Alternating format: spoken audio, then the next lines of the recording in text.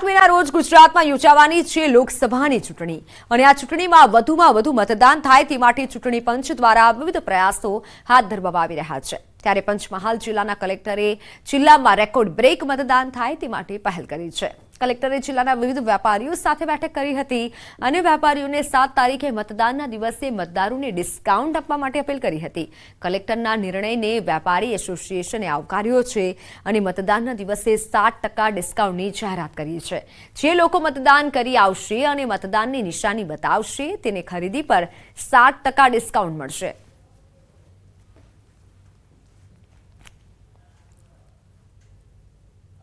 જે જ્વેલરી શોપના જે હતા, એ લોકોએ સાત ટકા ડિસ્કાઉન્ટ આપ્યું છે એમની ઘડાઈ ઉપર.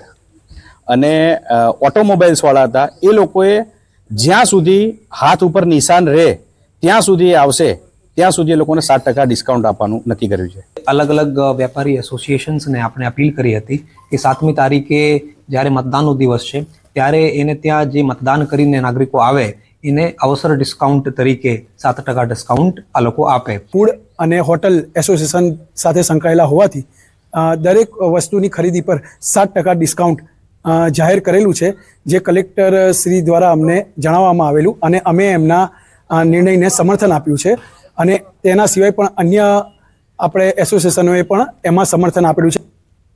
તો ગુજરાતમાં લોકશાહીનું પર્વ શરૂ થઈ ગયું છે. આપને જણાવી દઈએ અને આપને જાણીને નવાઈ લાગશે કે આજથી શતાયુ વૃદ્ધો એટલે કે સો વર્ષથી ઉપરના વયોવૃદ્ધ મતદારો માટે પોસ્ટલ બેલેટથી મતદાન શરૂ કરાયું છે. બારડોલી લોકસભા બેઠક પર વયોવૃદ્ધ મતદારો માટે પોસ્ટલ બેલેટથી મતદાન શરૂ થયું છે.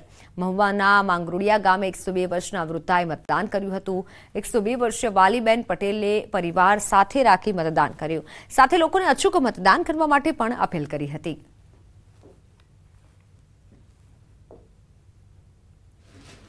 મેં મેં બે વર્ષની છે.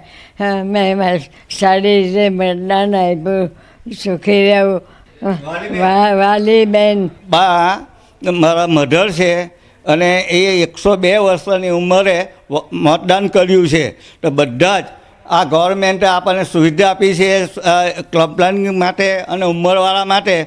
તો બધાએ મતદાન વૃદ્ધાએ પોસ્ટલ બેલેટથી મતદાન કર્યું છે. બારડોલીમાં શતાયુ વૃદ્ધો માટે મતદાન શરૂ થયું છે.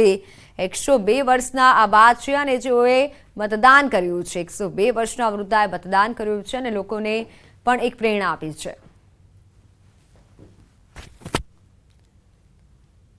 તો હાલ સમાચારોમાં સમય થયો છે વિરામનો. નજર કરીએ ટોપ થ્રી હેડલાઇન્સ પર. પેપર લીક મામલે સૌરાષ્ટ્ર યુનિવર્સિટીમાં એબીવીપીનો વિરોધ. કુલપતિની ચેમ્બરનો કર્યો ઘેરાવ. સુરતમાં નિલેશ કુંભાણીના ઘરે ગોઠવાયો ચાપતો બંદોબસ્ત. ચાર દિવસ બાદ કુંભાણીના પત્ની ઘરે પરત ફર્યા. અમદાવાદથી સાળંગપુર સુધી શરૂ થશે ડેલી હેલિકોપ્ટર રાઇડ. સાળંગપુરમાં બનાવાયા બે હેલિપોર્ટ હેલિપેડ બનાવવામાં આવ્યા. ત્રીસ હજાર ચૂકવવું પડશે ભાડું.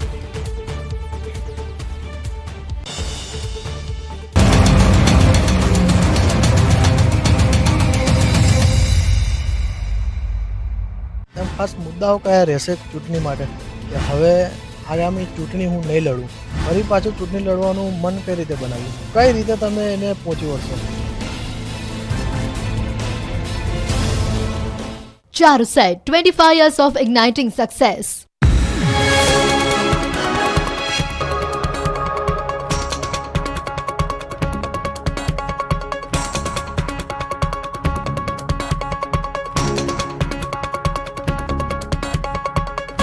Charuset, 25 years of igniting success. છે. શક્તિસિંહ ગોહિલના નિવેદન સામે ભાજપે વળતો પ્રહાર કર્યો છે. યજ્ઞેશ દવેએ કહ્યું કે હાલ કોંગ્રેસ પાસે કોઈ મુદ્દા નથી એટલે આવા ગતકડા કરે છે. શક્તિસિંહને કોંગ્રેસનો જમાનો યાદ આવ્યો લાગે છે.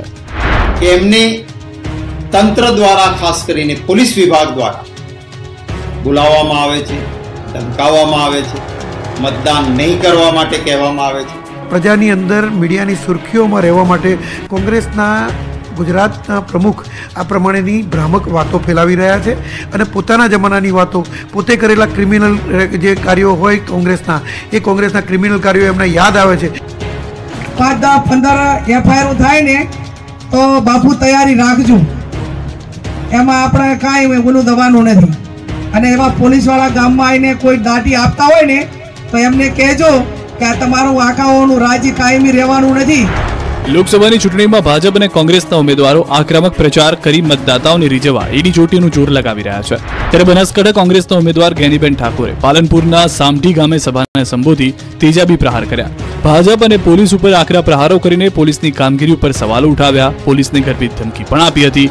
ગેનીબેન ઠાકોરે આડકતરી રીતે શંકર ચૌધરી પર પ્રહાર કરતા કહ્યું કે જિલ્લાના અનેક નેતાઓને કામ કરતા જોયા છે. એમને હાલ જે સહકારી માળખું ચાલે છે, એવું નથી ચલાવ્યું. વર્તમાન માળખામાં ભાજપને એક વ્યક્તિનો અડ્ડો બની ગયો છે. જ્ઞાનીબેન ઠાકોરે ફરીથી પોલીસને ગર્ભિત ધમકી આપતા કહ્યું કે પોલીસ કોંગ્રેસના આગેવાનોના નંબરો લેવા લોકોને ફોન કરી રહી છે. જેના ઉપર પોલીસના ફોન આવે એ નંબરો રાખજો.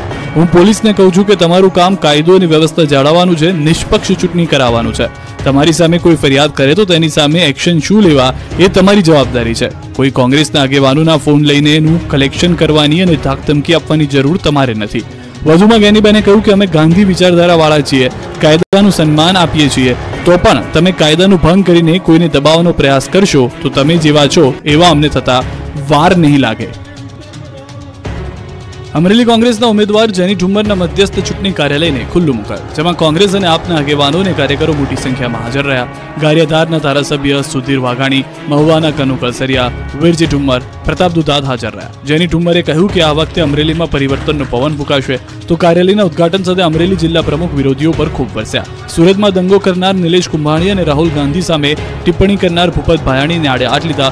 કુંભાણીને ખુલ્લી ચીમકી આપતા નિલેશ કુંભાણીને, હું છેલ્લા શ્વાસ સુધી નહીં છોડું તેવું કહ્યું. નિલેશ કુંભાણીને દુધાદ ગદ્દાર ગણાવ્યા. તેમણે એટલે સુધી કહી દીધું કે હવે સુરતમાં કાં તો પ્રતાપ દુધાદ રહેશે, કાં તો નિલેશ કુંભાણી રહેશે. ગુજરાતમાં મતદાનને હવે ગણતરીના દિવસો બાકી છે. પાંચમી મેના રોજ સાંજે પાંચ વાગ્યા પછી ચૂંટણી પ્રચારના ભૂંગળા બંધ થશે. મતદાન પૂર્વેના આઠ દિવસ રાજ્યભરમાં ચૂંટણી પ્રચાર ઝંઝાવતી બનાવાશે. ગુજરાતની પચીસ બેઠકો પર ચૂંટણી પ્રચાર પરાકાષ્ઠા પર પહોંચશે. ગુજરાત રાજ્યના સ્થાપના દિન એક મે અને બીજી મે પ્રધાનમંત્રી નરેન્દ્ર મોદી ગુજરાતમાં પ્રચાર કરશે. પ્રધાનમંત્રી બે દિવસમાં ચાર ઝોનમાં છ સભાને સંબોધે તે પ્રકારનું આયોજન કરાઈ રહ્યું છે. નરેન્દ્ર મોદી જૂનાગઢથી પ્રચાર પ્રવાસનો પ્રારંભ કરી શકે છે. ઉપરાંત બનાસકાંઠા અને આણંદમાં સભા ગજવી શકે છે. તો બીજા દિવસે સુરેન્દ્રનગર, બનાસકાંઠા અને ભરૂચમાં સભાને સંબોધી શકે છે. સાથે પ્રધાનમંત્રી વડોદરામાં રોડ શો કરી શકે છે. પ્રધાનમંત્રી દક્ષિણ ગુજરાતની બેઠકો સિવાય કચ્છ, સૌરાષ્ટ્ર, ઉત્તર ગુજરાત અને મધ્ય ગુજરાતને આવરી લેશે. જેમાં દરેક સભામાં ત્રણથી ચાર લોકસભા બેઠક આવરી લેશે. તો આ તરફ આગામી સત્યાવીસ, અઠ્યાવીસ અને ઓગણત્રીસ એમ ત્રણ દિવસ માટે અમિત શાહ ગુજરાતમાં આવશે. સત્યાવીસમીએ દાહોદ અને પંચમહાલ સંયુક્ત સભા યોજશે, જે બારડોલી ખાતે યોજાશે. સાથે જ સૌરાષ્ટ્ર, ઉત્તર ગુજરાત અને મધ્ય ગુજરાતમાં પણ અમિત શાહની સભાનું આયોજન કરાઈ રહ્યું છે. આ ઉપરાંત ભાજપ પોતાના રાષ્ટ્રીય નેતાઓના પ્રચાર પ્રસાર તેજ કરવાનો પણ તકતો ગોઠવી રહ્યું છે. અમદાવાદના રસ્તાઓ પર નેતાઓ માગી રહ્યા છે મત અમદાવાદ પશ્ચિમ લોકસભા ભાજપ ઉમેદવાર દિનેશ મકવાણાએ પ્રચાર શરૂ કર્યો. જનસંપર્ક યાત્રાના માધ્યમથી પ્રચાર શરૂ કર્યો. જનસંપર્ક યાત્રા દરમિયાન ઠેર ઠેર સ્વાગત કરાયું. પ્રચાર દરમિયાન દિનેશ મકવાણાએ દાવો કર્યો કે અમદાવાદ પશ્ચિમ બેઠક ભાજપ પાંચ લાખ મતથી વધુથી જીતી જશે. ભાજપે આપેલા લક્ષ્યાંક કરતા વધુ મતથી જીતી જવાનો દાવો કરવામાં આવ્યો. મકવાણાએ કહ્યું કે પીએમ મોદીને ફરી પ્રધાનમંત્રી બનાવવા લોકો મતદાન કરશે. તો આ તરફ કચ્છ લોકસભા બેઠકના ઉમેદવાર વિનોદ ચાવડાએ મોરબી વિધાનસભા કાર્યાલયનું ઉદઘાટન કર્યું. કાર્યાલયના ઉદઘાટન કાર્યક્રમમાં સાંસદ મોહન કુંડરિયા, કેસરી દેવ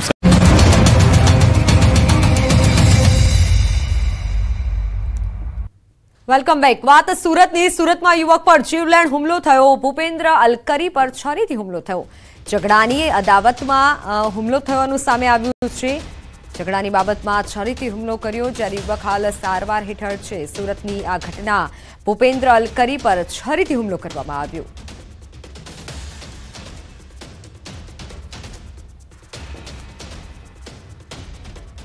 જેસનના વીરપુરમાં થયેલી મારામારીમાં યુવકનું મોત નીપજ્યું છે. સપ્તાહ પહેલા થયેલી મારામારીમાં જીતુભાઈ ગોહિલ ઘાયલ થયા હતા. જેમનું ભાવનગરમાં સારવાર દરમિયાન મોત નીપજ્યું છે. જૂની અદાવતમાં મારામારી થઈ હોવાનું પ્રાથમિક તપાસમાં સામે આવ્યું છે. યુવકનું મોત થતાં પોલીસે હત્યાની કલમ ઉમેરી આગળની કાર્યવાહી હાથ ધરી છે.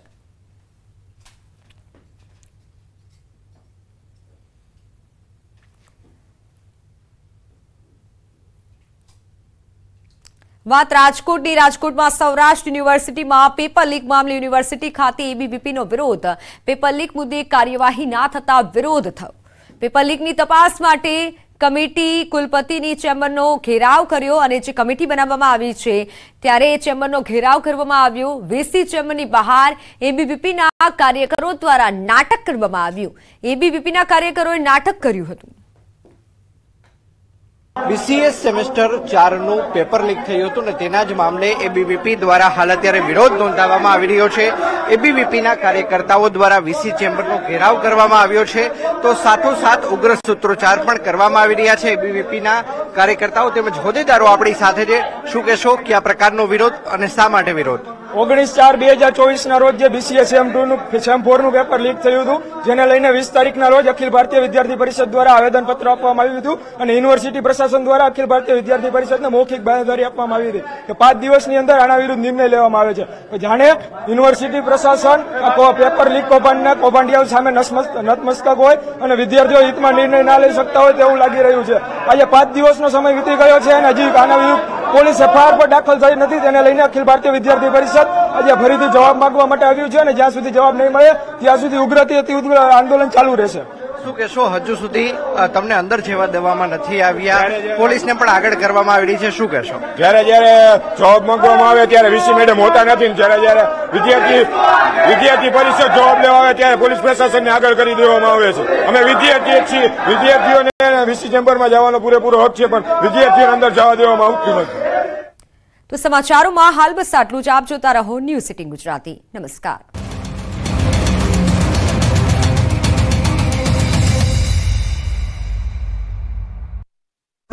શાંતિ અમૃત્ય સહિતના ભાજપ આગેવાનો ઉપસ્થિત રહ્યા. વિનોદ ચાવડાએ દસ વર્ષના સંસ્મરણો વાગોળી જંગી લીડથી જીત મેળવવાનો આશાવાદ વ્યક્ત કર્યો ઉમેદવારોની સાથે મુખ્યમંત્રીએ પણ ચૂંટણીને લઈને પ્રચંડ પ્રચાર શરૂ કર્યો અમદાવાદના નિકોલમાં સભાનું આયોજન કરાયું સભામાં સીએમ ઉપરાંત સાંસદ દેવસિંહ ચૌહાણ પણ ઉપસ્થિત રહ્યા મુખ્યમંત્રીએ સભાને સંબોધતા કહ્યું કે સૌથી પહેલી સીટ આપણે નરેન્દ્રભાઈને ત્યાં મોકલી દીધી છે ચૂંટણી શરૂ થતા પહેલા જ ભાજપે ખાતું ખોલી એક સીટ દિલ્હી મોકલી છે.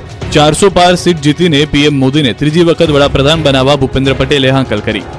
આખા દેશની પહેલી જીત પહેલી જીત, એક સીટ આપણા માન્ય નરેન્દ્રભાઈને ત્યાં મોકલી દીધી. દિલ્હી સૌથી પહેલી સીટ આપણે ગુજરાતની પહોંચી આપ સૌ એના સહભાગી છો કે આજે ચૂંટણી શરૂ થતા પહેલા જ ભારતીય જનતા પાર્ટીએ ખાતું ખોલી અને એક સીટ દિલ્હી મોકલી છે. લોકસભાની ચૂંટણી અને વિધાનસભાની પેટા ચૂંટણીને જંગ જામ્યો છે. ત્યારે પ્રચાર દરમિયાન નેતાઓ અલગ અલગ અંદાજમાં જોવા મળી રહ્યા છે. ખાસ કરીને રાજકોટમાં કોંગ્રેસના ઉમેદવાર પરેશ ધાનાણી હંમેશા કંઈક નવું કરતા હોય છે. આ વખતે પરેશ ધાનાણી પહોંચી ગયા જસદણ. પરેશ ધાનાણીનો નખો પ્રચાર આકર્ષણનું કેન્દ્ર બન્યો. જસદણ પહોંચેલા ધાનાણીએ રત્ન કલાકારો સાથે વાતચીત કરી અને ત્યારબાદ હીરા બજારમાં હીરા ઘસવા બેસી ગયા. ધાનાણીના પ્રચારનો આગવો અંદાજ સોશિયલ મીડિયામાં વાયરલ થઈ રહ્યો છે. પરેશ ધાનાણી સોશિયલ મીડિયા પર અનોખી કવિતા અને તળપદી શૈલી માટે ખૂબ જ જાણીતા છે. કોંગ્રેસે તેમને રાજકોટ લોકસભા બેઠકના ઉમેદવાર જાહેર કર્યા છે. ત્યારે હીરા ઘસવા બેઠેલા પરેશ ધાનાણીનો વીડિયો વાયરલ થઈ રહ્યો છે. વડોદરામાં વોર્ડ નંબર દસના ભાજપના બે કાર્યકરોની દાદાગીરી સામે આવી છે. તેઓને દાદાગીરીનો વીડિયો સીસીટીવી કેમેરામાં કેદ થયો છે, જેમાં એક કાર્યકર દુકાન બંધ કરાવી દેવાની ધમકી આપે છે. આ બંને કાર્યકરોએ પાનના સંચાલક પાસે ખુરશી માંગી હતી. દુકાનદારે ખુરશી આપી હતી, તેમ છતાં બંને કાર્યકરો ઉશ્કેરાઈ ગયા હતા અને દુકાનદાર સાથે બોલાચાલી કરી હતી. આ બંને કાર્યકરોના નામ બ્રિજેશ કાપડિયા અને વિક્રમ હોવાનું બહાર આવ્યું છે. આ પૈકી વિક્રમ દુકાનદારને દુકાન બંધ કરાવી દેવાની ધમકી આપતો હોવાનું પણ વિડીયોમાં જોવા મળી રહ્યું છે. જોકે આ તમામ બાબતમાં વોર્ડ નંબર દસના કોર્પોરેટર, મુખ પ્રેક્ષક બનીને ઊભા રહ્યા હતા આ ઘટના બાદ પાલિકાએ આ દુકાનદારને બે હજારનો દંડ પણ ફટકાર્યો હોવાનું જાણવા મળી રહ્યું છે. ભાજપ કાર્યકર્તા સાથે બબાલ બાદ મહાનગરપાલિકાની દુકાન પાસેનું ગેરકાયદે દબાણ દેખાતા અનેક સવાલ ઉઠી રહ્યા છે. ક્ષત્રિય સમાજના ધર્મરથનું સુરેન્દ્રનગરના ધાંગધ્રામાં સ્વાગત કરાયું. ધામાથી નીકળેલો ધર્મરથ ધાંગધ્રા પહોંચ્યો. જ્યાં મોટી સંખ્યામાં ક્ષત્રિય સમાજના લોકોએ રથનું સ્વાગત કર્યું. ધર્મરથમાં કોંગ્રેસના જિલ્લાના પ્રમુખ અને કોંગ્રેસના આગેવાનો પણ જોડાયા. કોંગ્રેસના આગેવાનોએ ડોક્ટર બાબા સાહેબ આંબેડકરની પ્રતિમાને ફૂલહાર કર્યા. ક્ષત્રિય સમાજે શહેરના ક્લબ રોડ, રાજકમલ ચોક થઈને ગ્રીન ચોક સુધી રેલી યોજી. બાદમાં સભા પણ યોજાઈ. જ્યાં ક્ષત્રિય સમાજના આગેવાનોએ પરસોત્તમ રૂપાલા અને ભાજપ સામે નારાજગી વ્યક્ત કરી. આ ધર્મરથ પચીસ એપ્રિલ સુધી ગામડે ગામડે ફરશે. ગુજરાતમાં આશરે પાંચ કરોડ લોકો આગામી ચૂંટણીમાં કરી શકશે મતાધિકારનો ઉપયોગ. ઈપીઆઈસી કાર્ડ ન હોય તો ઈ ઈપીઆઈસીની પ્રિન્ટ પણ ઓળખના પુરાવા તરીકે માન્ય ગણાશે. મતદાનની ટકાવારી વધારવા માટે રાજ્યભરમાં પખવાડિક સઘન મતદાન જાગૃતિ કાર્યક્રમનું આયોજન